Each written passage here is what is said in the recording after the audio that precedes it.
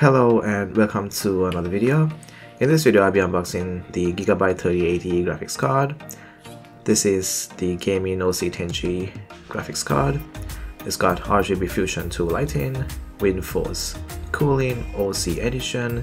It's got 4 years of warranty. Let's go over to the side here. This is an LHR graphics card. It's got DirectX 12 support so in the back of the box we have some additional information regarding the graphics card. So here we have WindForce 3X cooling system.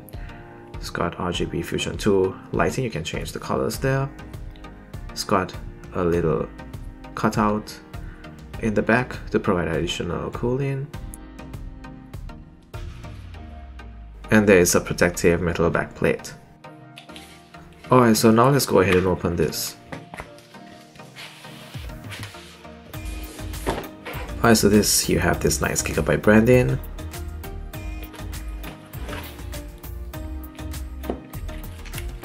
So let's have a look at what we have here. So here we have 4 years of warranty if you register. And here we have a quick guide. So here we have some details about how to install the graphics card and the display outputs that it has.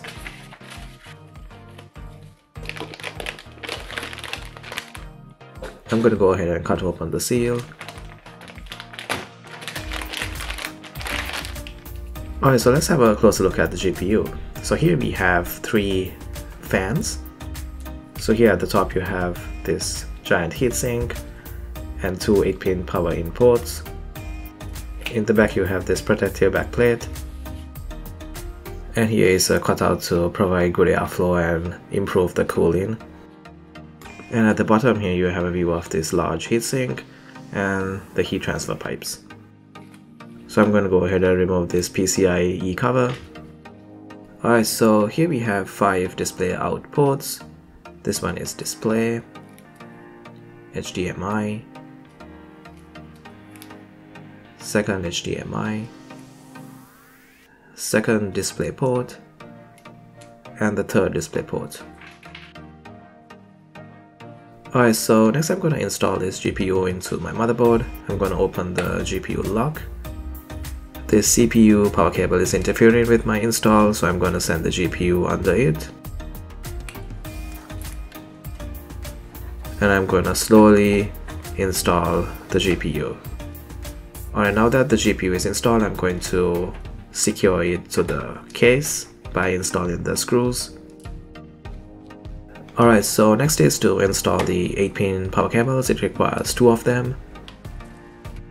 Alright, so next is to turn on the computer. And the GPU turns on and the RGB lighting is on.